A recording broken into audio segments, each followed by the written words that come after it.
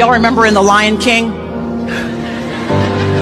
Simba's messing with the hyenas and he's like, Rawr! and they're like, seriously? And he does it again, Rawr! and they're like, you gotta be kidding. He does it again, Rawr! and they're like, no, you'll never take us down. You're too weak, you're too small, you're too puny by yourself. He tries it one more time. He lets out his best roar, but it sounds like something big and giant, and it echoes off of the mountains nearby, and the